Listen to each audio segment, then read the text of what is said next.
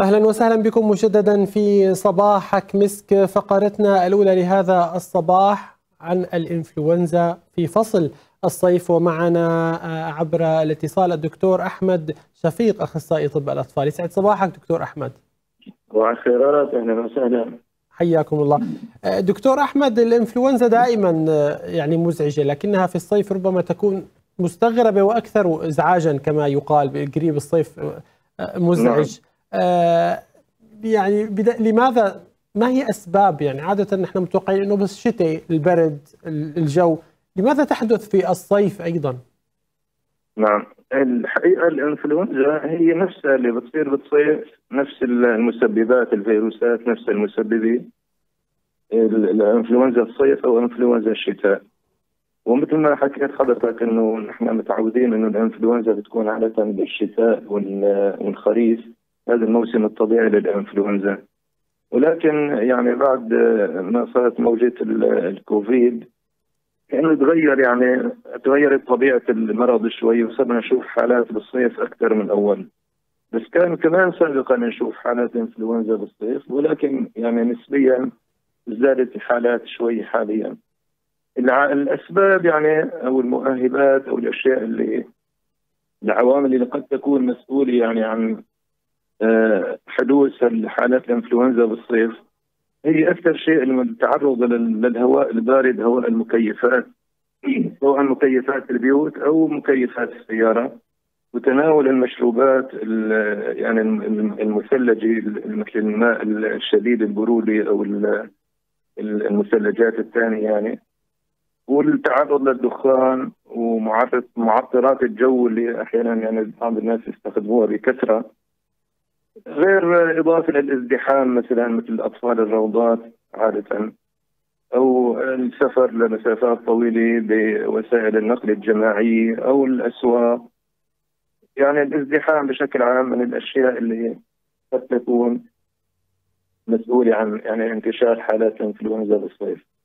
جميل. إذا يعني هناك امور خاصة ربما بالصيف كما تفضلت دكتور موضوع المكيفات والخروج من التكييف ربما إلى الجو الحار والمشروبات البارده يعني كنا نهرب من جو الصيف إلى مشروبات باردة. هذه أيضا تزيد من من احتمال حدوث الإنفلونزا. دكتور دا يعني منذ أن ابتلينا بكوفيد صار الواحد يعني بيرجع يا ترى هذا كوفيد ولا إنفلونزا ولا شو صاير معنا؟ حتى كأن يعني موجات الإنفلونزا أصبحت أقسى من ذي قبل. ما هي أبرز الأعراض الحالية اللي تعرف أنه هذه إنفلونزا وكيف أتعامل معها؟ نعم الإنفلونزا الحقيقة يعني الحدود الفاصلة تماما ما بين الإنفلونزا الإنفلونزا اللي صارت من سنوات يعني خاصة بال 2010 2009 2010 إنفلونزا الإتش 1 إن 1 اللي هي سموها إنفلونزا الخنازير اللي هي اتش 1 ان 1 وإنفلونزا الكوفيد أو الكوفيد ما نسميه الانفلونزا يعني الأعراض تقريبا متداخلة ومتشابهة. بس الطرفين يعني الحالتين أو المرضين صاروا يعتبروا من الحالات الموسمية يعني ما بقى في خطورة إن شاء الله. وعم تجي معظم الحالات عم تمر بسلام وبدون لزوم لدخول المشفيات. الأعراض اللي هي معروفة عند جميع الناس أكثر شيء السعال. الجاف عادة أحيانا بيكون منتج. الوهن العام التعب يعني المريض أو الطفل أو المراهق يعني بيشعر بتعب شديد بجسمه. وألم البلعوم ألم الحلق هذه الثلاث أعراض تقريبا هي الأعراض السائدة. في موضوع الحرارة ارتفاع حرارة المريض. وعند الأطفال الصغار يعني كثير أحيانا بيكون في أعراض هضمية إضافة للشيء اللي ذكرناه بيكون في إسهال وقياء دكتور؟ نعم. جميل. دكتور يعني عندما تحدث هذه الأعراض البدائية هل هنا هل يستدعي ذلك مباشرة مثلا زيارة الطبيب أو المستشفى أم يمكن أن يقوم المرء أو المريض ببعض السلوكيات الأولى لتجاوز هذا المرض دون الحاجة إلى إلى مراجعة المختص؟ لا هو ما في داعي طالما أنه ما في أعراض هضمية واضحة عند الأطفال يعني ما في اقياءات شديده ما في ارتفاع حرارة شديد. إذا الوضع العام للطفل جيد يعني الطفل واعي وعم بتناول أغذيته وبياخذ سوائل ما في داعي ممكن الأهل يصبروا يومين يعني بشكل طبيعي يعطوا خافضات الحرارة العادية المعروفة اللي هي الباراسيتامول والسوائل. أهم شيء تعويض السوائل يعني الإكثار من السوائل المشروبات العادية العصائر الطبيعية اللي ما مثلجه أو الشوربات الفاترة أو البابونج المغلي أو الزيزفون المغلي. هذه الأشياء الإجراءات اللي ممكن تسوى بالبيت وينتظروا 48 ساعة ما في خطورة إن شاء الله. إلا إذا كان الوضع العام للطفل سيء أو في اقياءات شديدة. أو ما بيحسن يتناول السوائل. هذا الوقت بهالحاله طبعا لازم يراجع الطبيب فورا. بس بمعظم الحالات 48 ساعة بتكون الجسم بيتغلب على المرض يعني وغالبا بمر الموضوع بسلام.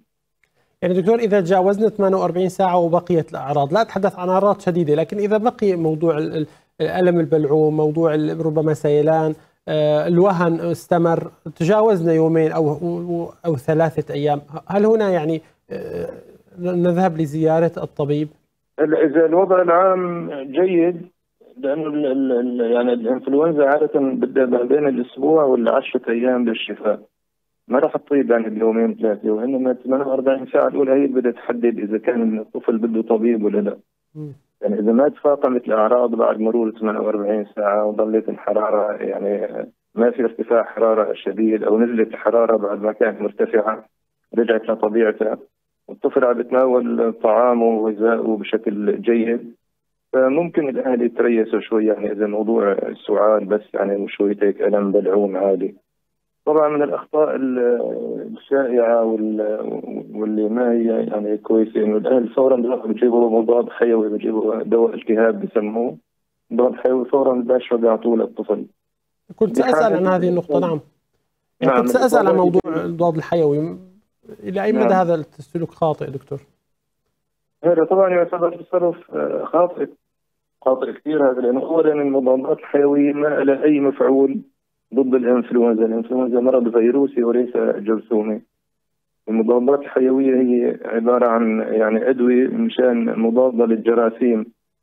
يعني هذا عامل ممرض مختلف تماما، غير إنه ممكن تاثر على الشيء اللي اسمه الفلورا يعني الجراثيم الموجودة بشكل طبيعي واللي تشكل توازن يعني مهم في في بلعوم المريض أو حتى بامعائه فممكن تأثر على الفلورا هاي الطبيعية وتسوي مشكلة إضافية يعني تعرض المريض لإنتان ثانوي وبغنى عنه.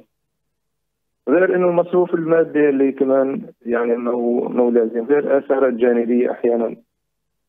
ما لازم الأهل فورا يعني يتسرعوا ويروحوا يجيبوا مضاد حيوي ويباشروا فيه. يعني هذا انتظار يومين. انتظار يومين طالما انه الوضع العام مقبول. بعد اليومين إذا كان الوضع يعني مثل ما قلنا إنه استمر ارتفاع الحرارة أو في أعراض هضمية واضحة أو الطفل ما عاد يتناول الأغذية والسوائل بشكل جيد يراجع الطبيب، الطبيب يقدر إذا كان الموضوع فيروسي يعني مقتنع إنه إنفلونزا في له أدوية خاصة غير المضادات الحيوية. جميل. يعني هذه نقطة مهمة جدا للأهالي لا سيما طبعا كلنا نعرف أنه هنا المضادات الحيوية لا تصرف إلا بوصفة طبية وللأسف البعض يعني لما مثل عم نقول يستعجل أو يكون يلجأ مباشرة هو عم يحاول أيضا يجيبها بطريقة غير غير نظامية وموضوع تحديد أصلا آه، المضادات الحيوية والتشديد عليها. يعني كان هدفه فعلا وقاية الصحة. دكتور الكل يعني يشتكي أنه الإنفلونزا أصبحت في الفترة الأخيرة أصعب وأشد واللي كانت تخلص بثلاث أربع خمس أيام صارت تمد عشر أو البعض. لماذا أصبحت هجمات الإنفلونزا أصعب وأطول؟ غالبا بسبب السلالات المسببة لأنه الفيروسات الفيروسات المسببه للإنفلونزا يعني قد يكون أكثر من 130 سلالة مسببة للمرض وغالبا هلا المشتبه فيه هو الاتش 1 إن 1 يعني هذا الجائحة الشديدة اللي إجت على العالم وسببت دخول مشافي ووفيات هذه يعني مثل أي مرض فيروسي جديد أول ما بيجي بيكون خطير كثير وبعدين الناس يعني بتكتسب مناعة جماعية ضده فبيصفي الإصابات أقل شدة يعني مزعجة ولكن غالبا بتكون سليمة ما هي مميتة ولا تحتاج مشافي. فغالبا السلالات يعني قد تكون حتى الكوفيد يعني في أحيانا يعني إصابات في عم نشتبه إنه تكون كوفيد ولكن بدون تحاليل يعني عم نعتمد غالبا على التشخيص السريري وغالبا عم تكون سليمة كمان. بتطول شوي مثل ما عم تقول. تطول أحيانا أسبوع 10 أيام بتكون أعراضها مزعجة. بس معظمها عم أو كلها اللي نحن شفناها عم بتمر بسلام الحمد لله. الحمد لله. دكتور على ذكر الكوفيد يعني البعض مثلا بيقول لك يمكن يكون معي كوفيد مو مو, مو إنفلونزا. التشخيص التفريقي بالنسبة للمريض هل هو مهم؟ يعني كثير مهم مثلا أنا إذا ما معي هالأعراض في وهن في تعب وكذا كثير مهم أعرف إذا هو إنفلونزا ولا ولا كوفيد ولا بالنهاية تقريبا التعامل متقارب وبالتالي تحديد ذلك والقيام باختبار كوفيد أمر ليس ضروري. هلا بالحالات الشديدة يعني إذا كان المرض يعني حاد وعم يسبب ازعاج كبير للمريض ولابد من العلاج يفضل طبعا التحليل في الحاله لأنه يعني الأدوية المضادات الفيروسية للكوفيد تختلف عن المضادات تبع يعني المضادة لفيروس إنفلونزا إتش 1 إن 1 يعني خطة العلاج تختلف شوي. فبالحالة هاي إذا اضطر الطبيب يعني طبعا يلجأ للمسحة مسحة البلعوم النتائج تصدر بسرعة يعني ما يعني تقريبا اختبارات يعني روتينية ما هي مكلفة كثير ولا بتطول آه، إنجازها. بس بشكل عام يعني ما ما في داعي بشكل عام الأمور عم تمر بسلام. والتدبير ال ال يعني العلاج الداعم هذا بنسميه المسكنات خافضات الحراره السوائل المقشعات في حال إنه كان السعال منتج أو مضادات السعال يعني إذا كان السعال حاد كثير ومزعج وجاف يعني غالبا آه، بكل الحالات تقريبا بتأدي الشيء المطلوب منها الإجراءات هاي. بس المريض إذا تفهم المريض الوضع والصبر شوي كمان بيكون أحسن كثير يعني بيساعد الطبيب. ما يضوج فورا يروح آه، يلجأ لأدوية خاصة فيه أو مثلا آه، نروح من طبيب لطبيب أو هيك في ناس بيستعجلوا بدهم يعني يطيبوا بيومين أو ثلاثة. بس طبيعة المرض هيك ما بتصير بيومين ثلاثة مع الاسف جميل. يعني إذا العلاجات نستطيع أن نقول أنها علاجات عرضية للأعراض التي يعاني منها المريض وقليل من الصبر لأنه مثل ما تفضلت يعني من خمسة إلى عشرة أيام ربما هو المعدل الطبيعي للشفاء ما لم تتفاقم الأعراض وتستدعي زيارة الطبيب. أنا عم حاول بس ألخص كلامك دكتور. نعم بالضبط. نعم بالضبط. نعم.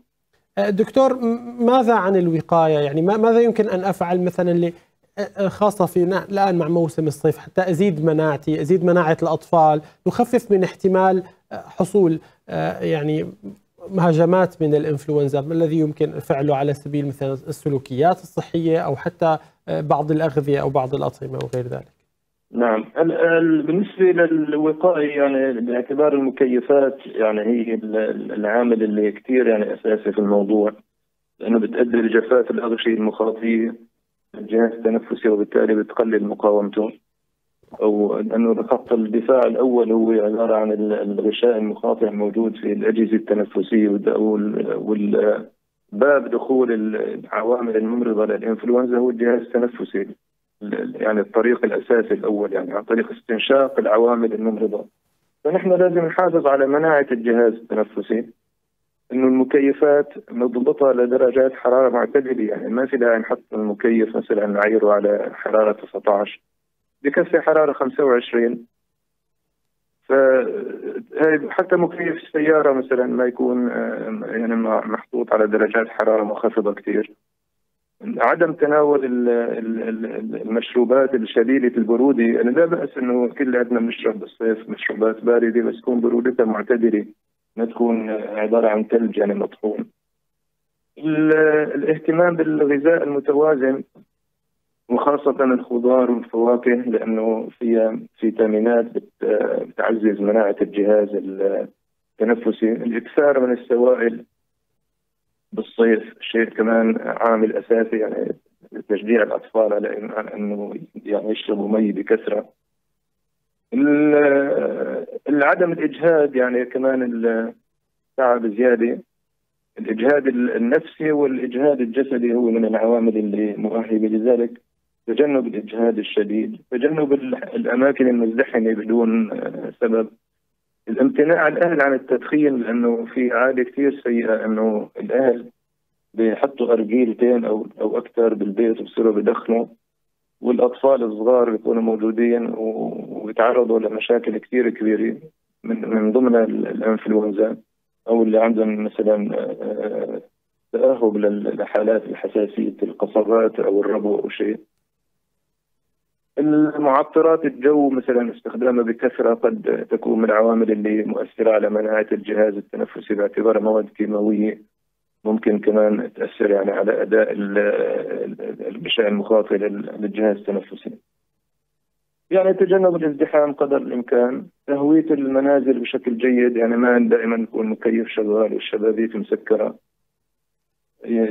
يكون في تهوية منتظمه إلى البيوت والمنازل. يعني هاي تقريبا الأهم النصائح اللي بتفيد بالوقاية وتخفيف الاحتمالات الإصابة. معروف الإجراءات النظافة الشخصية والشخص المريض يعني يحاول ما ينقل العدوى لغيره يستخدم كمامة. موضوع نظافة الأيدي لأنه الانتقال عن طريق اليد الأيدي طريق ولو ما هو أساسي بس موجود ومهم. رائع كذلك. مثلا بيصافح شخص مصاب رجع بحك عينه مثلا أو بيحط إيده بيتمه لسبب ما فبيكون دخلت الفيروسات والعوامل الممرضة. إلى الجهاز التنفسي. أشكرك جدا دكتور أحمد على هذه النصائح فأنا أتمنى لكل آه، آه، المتابعين وكل المستمعين يعني إن شاء الله يا رب هيك صحة وسلامة وعافية من كل آه، هذه الأمراض إذا الإنفلونزا هذا المرض الشائع. ربما كما تفضلت في غالب الحالات ليس خطير لكنه مزعج وهناك ربما كل ما ذكرته في ختام هذه الحلقة من وسائل آه، للوقاية وتعزيز المناعة يمكن أن تخفف من احتمال الإصابة أو من شدتها في حال وقعت. أشكرك جدا مرة أخرى دكتور أحمد ونخرج إلى فاصل قصير ثم نعود إليكم.